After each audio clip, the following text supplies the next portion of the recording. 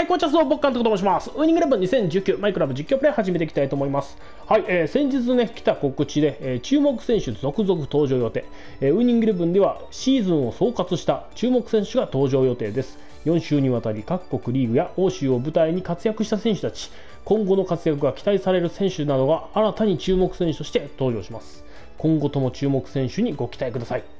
記載されている内容は予告なく変更になる場合がございますということでね、まあ、この告知が来たことによって、えーまあ、今後ね、あの僕がね、これまであの紹介してきた、えー FP ガチャで、あのベストイレブンになるガチャがね、まあ、登場するかもしれないということがね、えー結構、あの信憑性を帯びてきましたよね。で、すでにね、あのプレミアリーグ、そしてフランス、リーグワンの、えーベストイレブンの方はね、紹介させていただいてるんですけれども、今回ですね、イングランドプレミアリーグ、えー来たらね、多分一番熱いんじゃないかっていうね、えー FP ガチャ、えーの、まあ、内容ですね、えーイングランドプレミアリーグのベストイレブン、そして、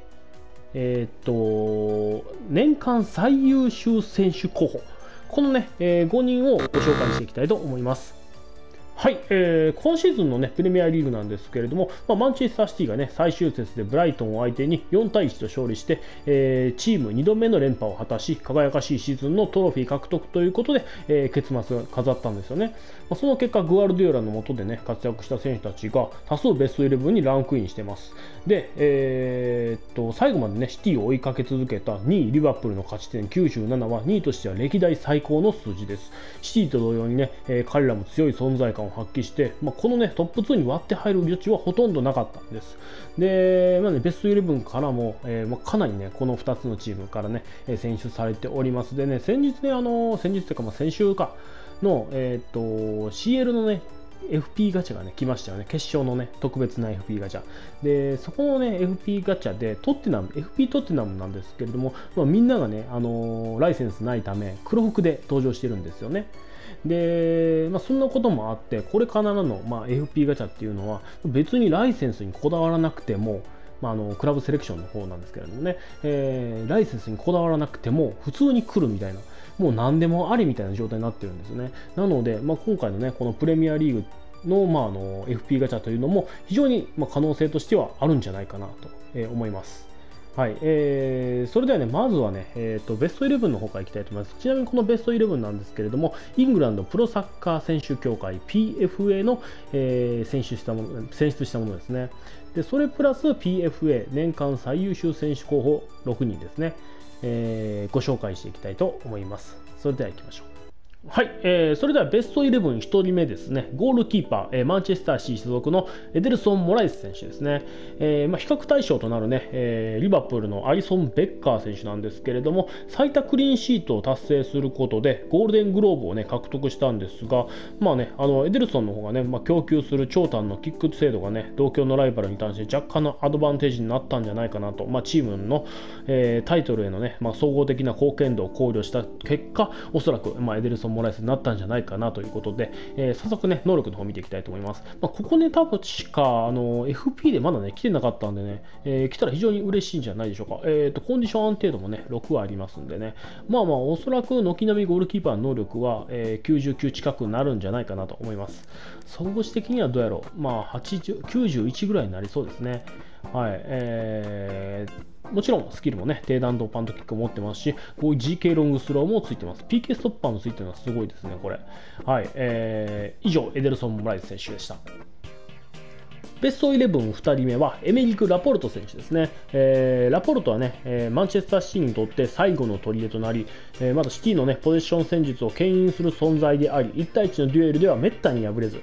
で今シーズンはね、重要なゴールもいくつかに関与しており、アシストもね、えいくつか記録しております。もちろんね、ブライトン戦で記録した重要な追加点も彼の業績の一つということで、えー早速能力の方を見ていきたいと思います。一度ね、FP で確か来てましたよね。最後の方かな、来た。えー僕はね、もちろん獲得できませんでした。アプリ版ともにね、え獲得できなかったということでね、はい、えー能力値こんな感じですけれども、スキルはちょっとね、寂しいですね。はい。えー以上、エメリク・ラポルト選手でした。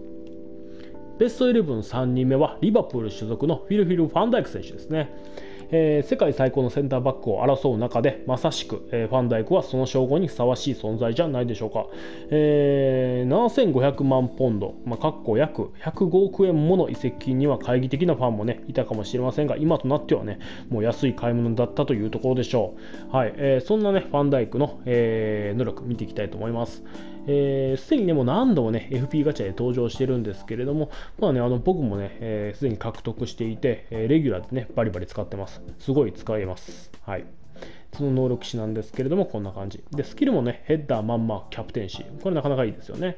はい。えー、ということで、以上、フィルヒル・ファンダイク選手の能力値でした。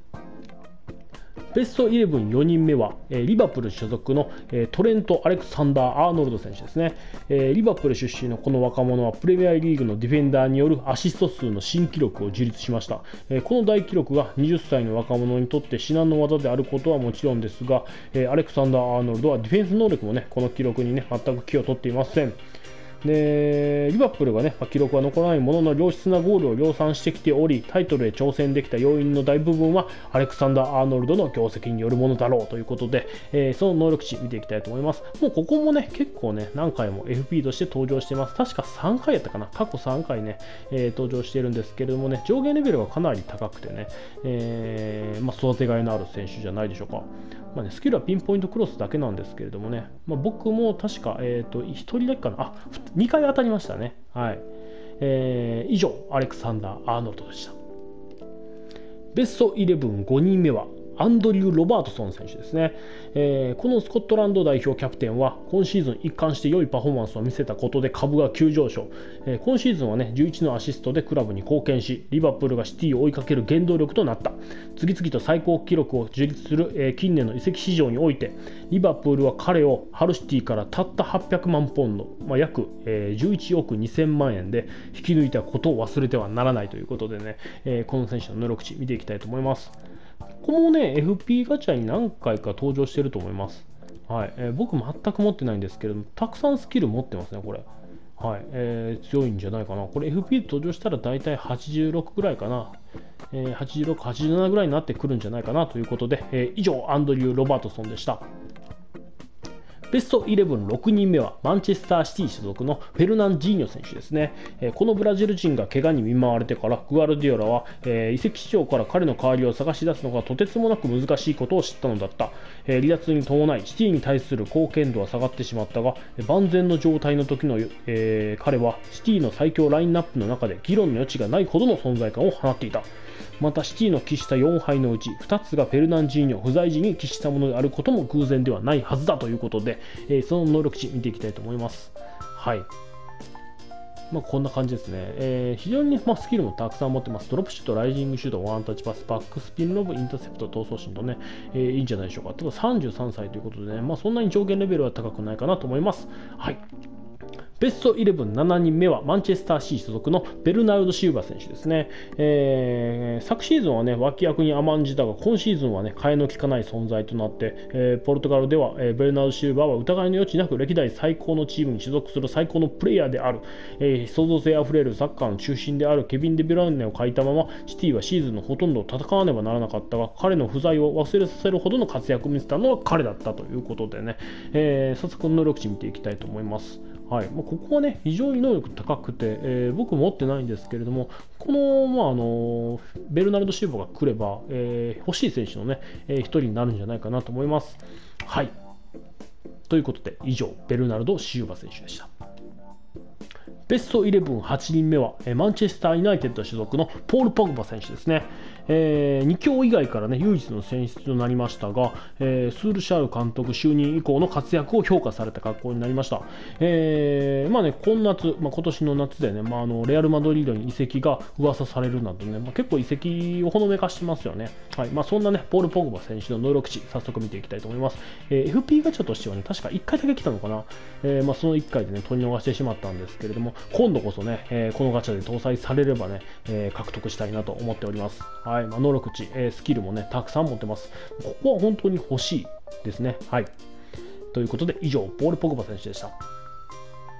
ベストイレブン9人目はリバプール所属のサディオ・マネ選手ですね。リバプールの最強3トップのうち最もシーズンを通して活躍した、えー、重要な試合で得点してきたため、今やレッズにとっては最高に頼りになる存在である。リーグ戦で22ゴールを奪い、マンチェスターシティをギリギリまで追い詰めた。今シーズンの彼にとってベストシーズンであり、ベストイレブンに選出されるに値する結果でした。はい。ということで、そんなサディオ・マネ選手のね、えー、能力値見ていきたいと思います。FP でもすでに何回か来てますよね。あの、クラブセレクションでもね、えー、登場してたので、2回目のね、クラブセレクションは多分ね、えー、登場してなかったんじゃないかな。はい。えー、スキルもたくさんあります。僕もね、えっと、ここ持ってますね、サディオ・マネ。はい。えー、以上、えー、サディオ・マネ選手の能力値でした。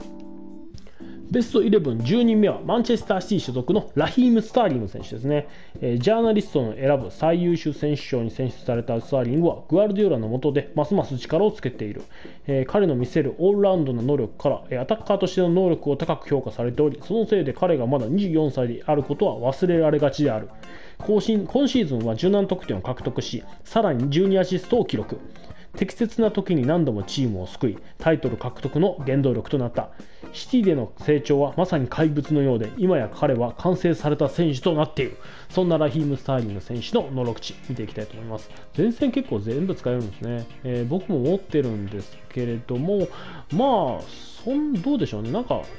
ずっと使ってるわけじゃないんですよね。調子のいい時だけ使ってるみたいな感じだったんで、まあ、ただね、あのスキルとかもたくさんあるので、またね、えー、この選手、ちょっと使ってみるのも面白いかもしれないですね。はい、えー、ということで、えー、以上、ラヒーム・スターリング選手の能力値でした。ベスト11、11人目はマンチェスターシティ所属の、えー、セルヒオ・アグエロ選手ですね。エースらしくブライトン戦で非常に重要な同点ゴールを決めた。シーズンを通してハードワークをこなし、21得点を手にし、シティをチャンピオンに押し上げた彼はアーセナル戦やチェルシー戦でハットトリックを達成しておりまた同時にバーンリーマンチェスター・ユナイテッドやリバプールといったチーム相手に重要なゴールを決めてきた彼自身は4度プレミアリーグのタイトルを獲得し1シーズン20得点以上を5年連続で取り続けているがこれが現代現代最高のフォワードといえるえー、ゆえんだろうということでね、そんなセルフィオ・アグエル選手の、えー、能力値見ていきたいと思います。はいまあ、非常にね、スピード瞬発とかもね、高いので、決定力も高いですよね。ただ、ちょっと身長だけね、173センチとね、低めなのがね、えー、ネックかなという、えー、印象です。まあ、僕もね、持ってるんですけれども、FP の方ね、うんまあ、コンディション安定度は6なのでね、まあ、普通に、まあ、この期間もね、使えるんじゃないかなと思います。はいえー、スキルも、まあ、重要な、スキルね、結構持ってます。はい、えー、ということで、以上、セルヒオ・アグエロ選手でした。はい、えー、それではね、ベスト11のおさらいの方をしていきたいと思います。ゴールキーパー、エデルソン・モライス、ディフェンダー、ラポルテ、ファンダイク、ロバートソン、アレクサンダー・アーノルド、ミッドフィルダーがフェルナンジーニョ、ベルナルド・シウバ、ポール・ポグバ、そしてフォワード、スターリング、セルヒオ・アグエロ、えー、サディオ・マネとね、えー、この11人が、えー、ベスト11。そして、えー、PFA 年間最優秀選手候補、えー、6人、えー、発表されていましたが、えー、年間最優秀選手が、えっとね、フィルフィル・ファンダイクなんですよね。なので、おそらくこのガチャが来たら、ファンダイク搭載されるんじゃないかなと、えー、一番に踏んでます。で、えー、他の選手ですね、えー、セルヒオ・アグレロ、えー、ベルナルド・シューバ、えー、ラヒーム・スターリング、そして、えーと、ファンダイクとサディオ・マネ、そしてね、あのベストイレブンには入ってなかったんですけれども、チェルシーからこの選手、エデン・アザール、はいえー、この選手なんですけれども、えー、フィっとっとっとっとっと。はいえー、アザールなんですけども、個人としてね、最高のシーズンをチェルシーで過ごし、移籍の可能性をほのめかしていたが、レアル・マドリード移籍がね、確実となった。えー、チェルシーがヨーロッパリーグ出場チームへと、えー、成り下がった昨夏、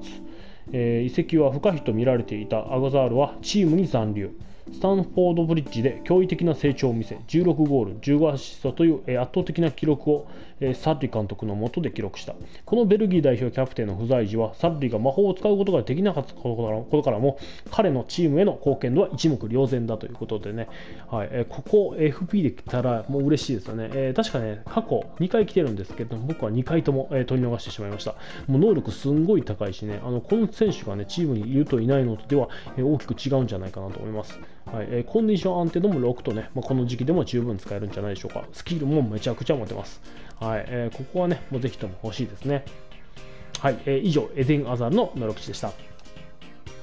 はい、えー、ということでね、まあ、イングランドプロサッカー選手協会が選ぶ、えー、プレミアリーグ年間ベストイレブンと、えー、年間最優秀選手候補6人をね、えご紹介していきました。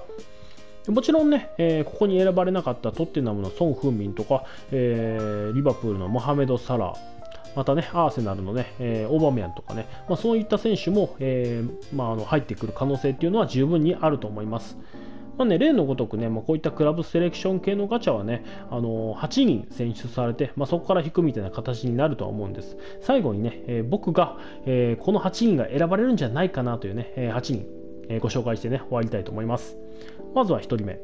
えマンチェスターシー所属のエデルソン・モライス。そして、え同所属セルヒオ・アグエロ、ベルナルド・シューバ、ラヒーム・スターリング、えそしてリバプール所属の、えフィル・フィル・ファンダイク、サディオ・マネ、そしてチェルシーからエデン・アザール、えー、マンチェスター・ユナイテッド所属のポール・ポグバ、この8人どうでしょう？はいということでね、えー、今日はこの辺で終わりたいと思います。最後までご視聴ありがとうございました。